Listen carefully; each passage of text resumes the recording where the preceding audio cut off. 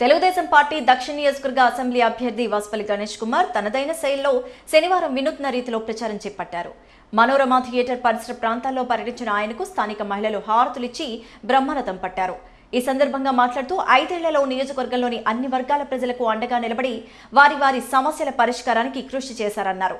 నియోజకవర్గాన్ని అభివృద్ధి చేయాల్సి ఉందని తనకు మరోసారి అవకాశం ఇస్తే పూర్తి స్థాయిలో అభివృద్ధి చేయడంతో పాటు స్థానికులకు నిరంతరం అండగా ఉంటూ వారి సంక్షేమమే లక్ష్యంగా పనిచేస్తానని హామీ ఇచ్చారు.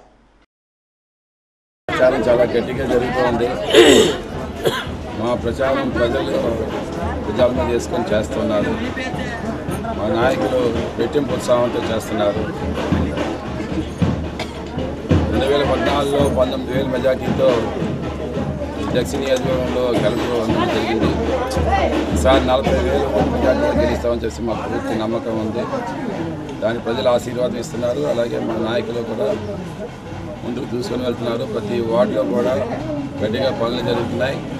అలాగే మా అభివృద్ధికి కూడా ఈరోజు ప్రజలు చేస్తారు అలాగే నిరంతరం ఐదు సంవత్సరాలు కూడా ప్రజలు దగ్గరే అందుబాటులో ఉండి వాళ్ళకి నాయకత్వం వహించి వాళ్ళ సమస్యలకు పరిష్కారం అందించాము విశాఖపట్నం దక్షిణ నియోజకవర్గం ఒక పాత నగరం కాదు కొత్త నగరం అని చెప్పేసి మౌలిక సదుపాయాలు కల్పించాము మూడు వందల కోట్ల రూపాయలతో నాలుగు వేల ఐదు వందల కోట్ల రూపాయలతో రోడ్డు పొల్యూషన్ ఏమో తగ్గుముఖం పడించి ఈరోజు జీరో పొల్యూషన్గా భారతదేశంలోనే నంబర్ టూ పోర్ట్ గ్రీన్ పోర్టుగా పరిగణించేలాగా తయారు చేయించాం